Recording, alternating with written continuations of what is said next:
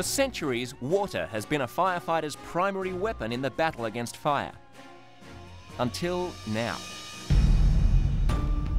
I had seen all the smoke pouring out of my basement. I was like, this can't be happening. When we arrived, there was heavy smoke coming out, and when I went over to grab the fire extinguisher, I realized that the Fit 5 was laying right beside it. I said, hey, let's deploy the Fit 5. It's called Fire Interruption Technology, or FIT, and it may be revolutionising the way we fight fires. Pulled the cap off, pulled the detonator cord, and then I just kind of threw it underhand as hard as I could, and it extinguished the fire. It works like a grenade. You pull a pin and throw the device into a burning room where it explodes, but instead of creating fire, it puts it out using a non-toxic chemical mist. Dale Mann is an engineer for MDE, the Seattle testing lab for the Fit 5. The chemistry behind the Fit 5 is actually fairly simple. There are two principal components, the oxidizer, which provides the oxygen, and the organic fuel. Fire in the hole! When these two react, they produce an aerosol powder. That powder does several things to interrupt the chain reaction that we know as fire. Number one, it'll absorb a lot of heat. Number two, it will produce what we call a free radical.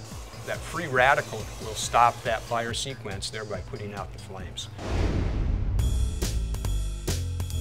At first, Chief John DeCola and his crew of volunteer firefighters in New Castle, Pennsylvania didn't know what to make of the Fit 5. I was a little skeptical initially because I had no real backup information to show what it would do. Uh, once we got a sample device and saw it actually work on a fire training grounds, then ultimately we bought one. Pitching or throwing in a Fit 5 device is similar to throwing horseshoes or throwing a bowling ball down the alley. Some people say it's like throwing a frisbee if the window is up high or chest level. It is almost a 10 pound device, so you need to get some practice. Okay, go ahead. nice. For these firefighters, this small round device could be a lifesaver. Imagine if you're a first responder, and you're responding to a thousand degree fire. That's hotter than their safety equipment is even able to handle.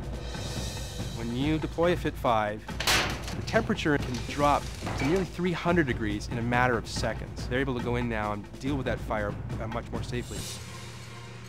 Water from fire hoses often does more damage than the fire itself. Thanks to the Fit 5, firefighters only needed one gallon of water to put out the fire in Marianne Medved's basement. Something that doesn't get talked about very much, but is a, key danger. When you pour vast amounts of cold water on a very hot fire, an enormous cloud of steam gets kicked back. Using a Fit 5, there's no danger of any kind of steam burn. ARA, the Seattle-based company that makes the Fit 5, says over 100 fire departments across the country are currently using it, and many others are interested in learning more about how it works.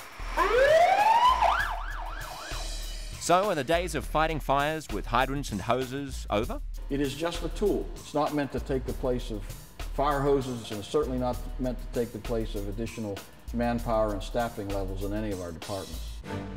It may not be ready to completely replace the old way of fighting fires. The Fit 5 only works in small enclosed spaces.